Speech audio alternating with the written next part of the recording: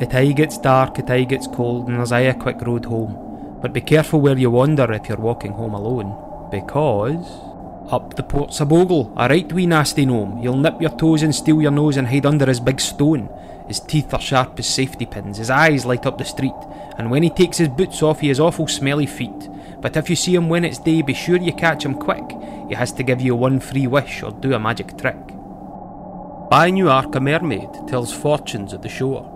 She knows just by magic what tomorrow has in store. Her nets are full of secrets, she hears stories in the shells, and they whisper recipes for the potions that she sells. Bog myrtle cream for midges, nettles for the sneezes, heather tea for coughs and colds, she cures all your wee diseases.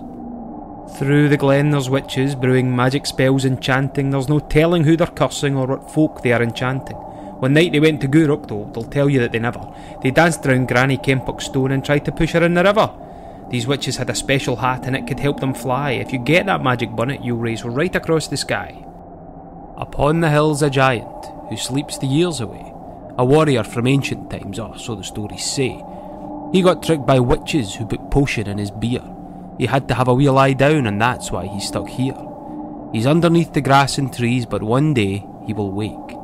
Shake the snow off, rise and shine, and the towns below will quake. The water hides a monster beneath the tides and foam. Lady Clutha of the Clyde, our river, is her home. She was here before the Romans, gave the Vikings quite a fright, and if any boats came near her, she just had to have a bite. But now she's much more friendly to ships both big and small. She mostly stays beneath the waves and hardly eats people at all. Down the docks a pirate, the ghost of Captain Kidd. They hanged him down in London for all the crimes he did.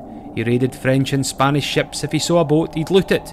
He buried all his treasure well, then forgot just where he put it. They say Kidd hid his treasure map in Greenock, so I'm told. If you ever come across it, you'll find lots of pirate gold. Up the moor's a wizard, on top of Dunrod Hill. It's evil old Dunrod himself who casts his spells there still. He mixes in his cauldron mermaid tails and goblin bones. He's got pockets full of potions, runes and charms and magic stones. But if he sees you in the trees, be sure you don't get caught. Run much faster than a broomstick, or he'll put you in his pots. So mind your step when walking home. Don't wander down dark streets.